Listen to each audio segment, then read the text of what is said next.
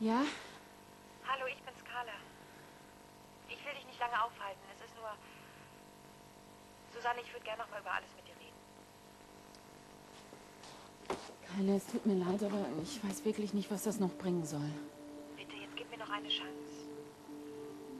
Ich habe noch mal über den Kredit für deinen Vater nachgedacht. Wie meinst du das? Können wir uns nicht treffen? Heute Abend im Schneiders. Also gut. Ich habe noch einen Familientermin, aber danach könnte ich da sein. Okay, dann bis heute Abend. Tschüss.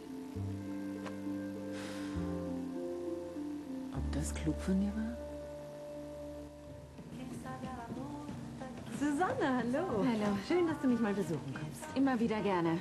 Aber ich muss gestehen, heute bin ich verabredet. Ein Rendezvous? Nein, ich treffe mich nur mit Carla von Lahnstein. Die ist noch nicht hier. Tja, und ich dachte, ich komme zu spät. Aber lass dich nicht aufhalten, ich setz mich. Ja, Angelo kümmert sich um dich.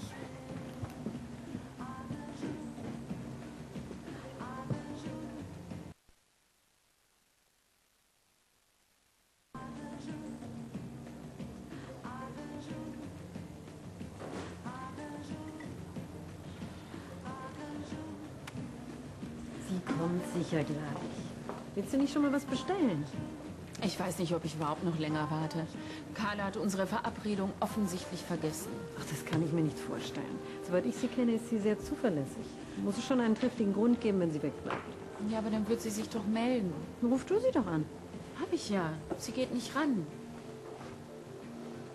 Ja, ist schon okay. Ich nehme ein Glas von diesem leckeren italienischen Rotwein. Eine gute Wahl. Angelo,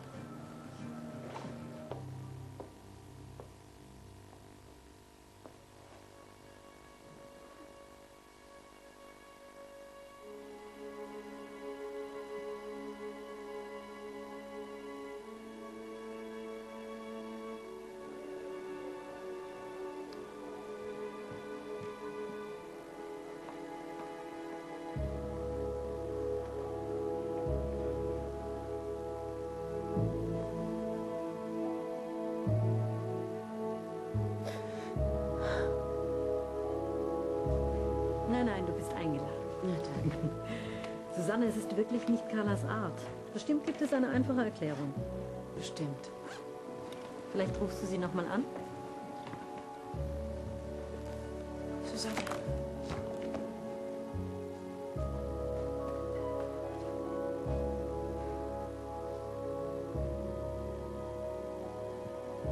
Das ist deine letzte Chance, Carla. Besetzt. Na toll.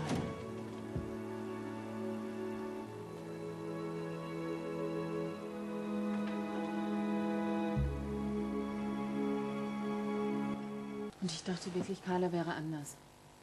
Erst bietet sie mir an, nochmal über einen Kredit zu reden. Ja, und dann taucht sie weder auf, noch sagt sie mir ab. Hör zu.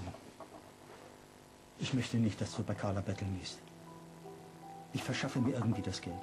Ich brauche die Landstands nicht. Und du schon gar nicht. Du hast vollkommen recht. Carla kann mich mal. Ja.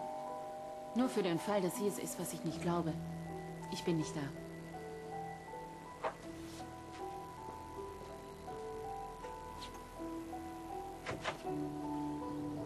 Hallo, Herr Brandner. Hallo. Ist Susanne da? Unterwegs mit dem Taxi. Ich weiß auch nicht, wann sie zurückkommt. Tut mir leid. Schade. Da kann man wohl nichts machen. Entschuldigen Sie die Störung. Einen schönen Tag noch. Ja, gleichfalls.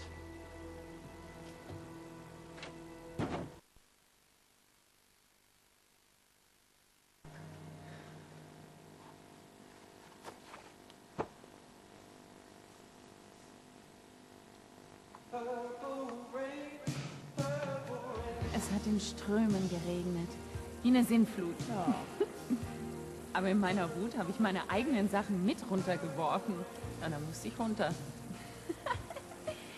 ah, nee. Ich habe ausgesehen wie eine nasse Katze und habe mich komplett zum Affen gemacht. und das alles vor dem Betthäschen meines Ex.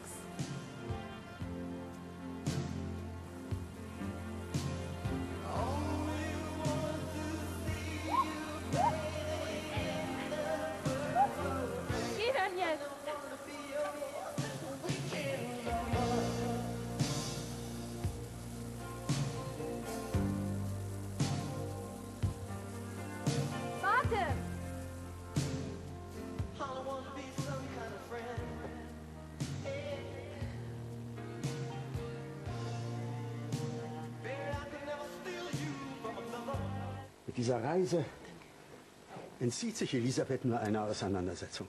Statt mit mir zu reden, läuft sie einfach weg. Höre ich da gekränkte Eitelkeit heraus? Ja, jetzt warte doch erstmal die Geschäftsreise ab und danach redet ihr noch mal in Ruhe über alles.